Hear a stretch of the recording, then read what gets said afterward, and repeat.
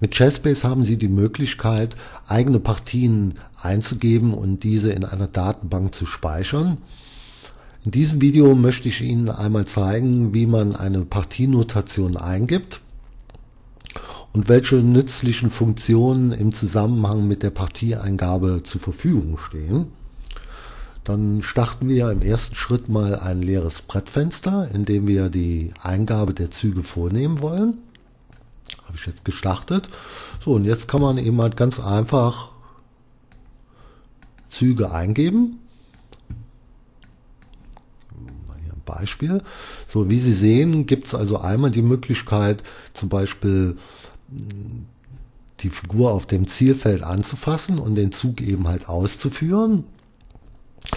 Wenn Sie sich aber ein bisschen mit der Partieeingabe beschäftigen, werden Sie schnell feststellen, dass das Programm eine gewisse Eigenintelligenz auch an den Tag legt. Beispielsweise, wenn ich den Springer hier auf F3 einmal anklicke, markiert er hier, sehen wir sofort dieses Feld D4. Ich mache das nochmal. Sehen Sie, wenn ich den Mauszeiger loslasse, wird der Zug umgehend ausgeführt. Und dieses wunderschöne Feature basiert auf der Heumas-Funktion. Das heißt, im Programm im Hintergrund läuft also ein kleines Schachprogramm im Hintergrund mit, was einfach schon mal plausible Zugmöglichkeiten berechnet. Diese Eingabeform, also diesen Heumas, kann man übrigens hier auch über das Anwendungsmenü Optionen kann man den konfigurieren. Und zwar hier unter Engines haben wir den Eintrag, sehen wir hier Heumas, kann man die Rechentiefe festlegen und über die Festlegung der Rechentiefe kann man die Genauigkeit ähm, festlegen oder die Rechentiefe, die das, die die im Hintergrund laufende Engine äh, benutzt, um Zugwahrscheinlichkeiten, plausible, plausible Zugeingaben selbstständig zu berechnen. Schauen wir uns das einfach mal noch anhand weiterer Beispiele ein. Ich gehe nochmal zurück zur der Partie. Eben haben wir also gesehen, dass ich eben halt die Zielfigur einfach angeklickt habe und das Programm, also Heumas, schlägt jetzt zum Beispiel hier bei dem Springer F6. Wir sehen das Feld F6 wird umrandet, schlägt also vor. Wenn ich jetzt einfach loslasse, wird der Zug ausgeführt. Jetzt gibt es aber noch die andere Möglichkeit. Man muss also nicht unbedingt die zu ziehende Figur an klicken, sondern man kann eben halt auch direkt ein Zielfeld zuerst einmal anklicken. Machen wir das jetzt halt einfach mal, wir schauen jetzt gar nicht so sehr hier auf diesen schachlichen Gehalt, mal anhand des Feldes C4. Ich nehme jetzt einfach mal in Kauf, wie hier über Drohung angezeigt wird, dass der Springer auf E4 schlagen kann. Wenn ich jetzt das Feld C4 anklicke, schlägt das Programm vor, wir sehen, der Läufer auf F1 hier unten wird jetzt mit einem Feld umrandet dargestellt. Wenn ich aber nicht den Läufer F1 auf C4 ziehen möchte, ich mache das einfach mal. Ich lasse also jetzt einfach mal den Mauszeiger los. So, das Programm hat den Zug umgehend ausgeführt. Ich nehme das aber jetzt nochmal zurück. Klicke nochmal auf das Feld C4. Er schlägt also wieder den Läufer F1 vor. Wenn ich aber jetzt auf den Bauern C4 gehe und loslasse, wird eben halt dann der Bauernzug auf dem Brett ausgeführt. Also wir merken uns, plausible Möglichkeiten sind, dass wir entweder für eine schnelle Partieneingabe einfach ein Zielfeld anklicken und dann gegebenenfalls den Zugvorschlag des Heumas-Programms übernehmen oder selbstständig dann den von uns gewünschten Zug ausführen. Oder die Alternative, dass man eben halt die zu ziehende Figur einfach anklickt und dann einfach mal schaut, was Heumas vorschlägt.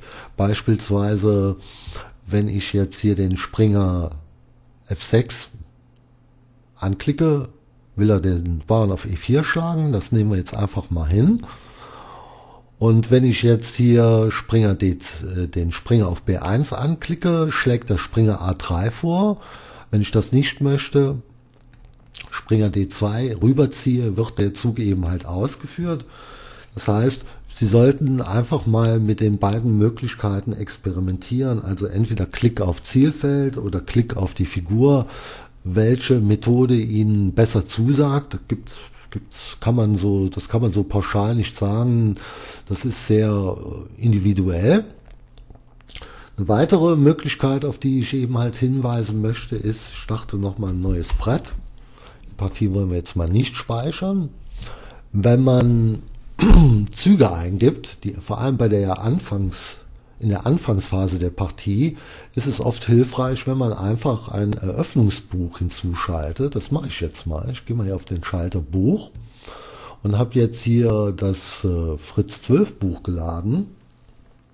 Und wenn ich jetzt einfach zum Beispiel Eröffnungsphase eingeben möchte, muss ich das gar nicht mit der Maus machen, sondern kann hier über die Navigation mit den Pfeiltasten die Züge direkt aus dem Buch abrufen. Mit einiger Übung ist das übrigens bedeutend schneller und komfortabler, als wenn man die Züge manuell auf dem Brett setzt. Ich mache das einfach mal. Ich gebe einfach mal hier Benoni ein. So, Benoni ist C5. Gehen wir mal hier auf C5. Jetzt ist der Hauptzug D5, also einfach über die Pfeiltasten. Und man kann jederzeit, wenn man dann nachher an der Originalpartie, die man eingeben möchte, eine Abweichung vom Eröffnungsbuch hat, dann macht man eben halt einfach folgendes. Kleinen Moment. Gehen wir auf die Notation. So, jetzt haben wir eben halt die Notation vor uns und dann kann man eben halt die Zugeingabe eben halt einfach durch die Eingabe auf dem, der Züge auf dem Brett weiter fortsetzen, aber insbesondere bei lang verschachtelten theoretischen Hauptvarianten empfiehlt es sich am Anfang der Partieeingabe, indem man einfach das Eröffnungsbuch hinzuschaltet und darüber eben halt schneller die Partien eingibt. Das wäre noch ein kleiner Tipp zur schnellen Partieeingabe. Textkommentare wird auch häufig gefragt, wenn man zum Beispiel mit Ctrl A startet man ein Textfenster und wenn ich jetzt hier einfach einen Zug eingebe, zum Beispiel Volga Gambit und das mit OK bestätige, wird dieser Text nachher in der Notation auch angezeigt. Zuvor noch ein kleiner Tipp. Wenn Sie hier den Schalter, man kann hier über diesen Schalter All, Eng, Doi, Fra verschiedene Sprachversionen einstellen. Wenn Sie aber den Schalter All benutzen, wird dieser Textkommentar unabhängig von den Spracheinstellungen des Anwenders immer angezeigt. Ja, dann gibt es noch die Möglichkeit, dass man innerhalb der Notation Diagramme setzen kann, die zum Beispiel bei einem späteren Ausdruck erscheinen sollen. Das macht man auch einfach, indem man in dem entweder in dem Textfenster, das mit Ctrl A startet und über Ctrl D OK eine kleine Markierung setzt und beim einem eventuellen Ausdruck signalisiert hier diese Markierung dem Programm, aha, da soll also im Ausdruck ein Diagramm gesetzt werden und dann wird das Diagramm beim Ausdruck auch eingefügt. Alternativ, das kennen Sie ja schon, wir wissen ja, dass also äh, viel viele Funktionen einfach via Rechtsklick im Kontextmenü zur Verfügung stehen. Also Rechtsklick in die Notation, Diagramm einfügen, leistet genau das gleiche. Das wäre die Alternative. Das wären eigentlich die wichtigsten Funktionen, die beim Eingeben von Partien erstmal zu beachten sind. Sie haben also die Möglichkeit, äh, Text einzugeben. Sie haben die Möglichkeit, Diagramme für den Ausdruck zu setzen und die Möglichkeit, Varianten und Untervarianten einzugeben, das hatten wir bereits in einem der letzten Videos vorgestellt. Damit stehen eigentlich zusätzlich mit den grafischen Kommentaren ähm, alle Möglichkeiten zur Verfügung, die man benötigt, um Partien umfassend zu kommentieren. Und in einem der nächsten Videos werde ich Ihnen jetzt mal zeigen, wie man eine Partie, eine selbst eingegebene Partie mit Texten mit Varianten und anderen Kommentaren innerhalb einer neu angelegten Datenbank speichert.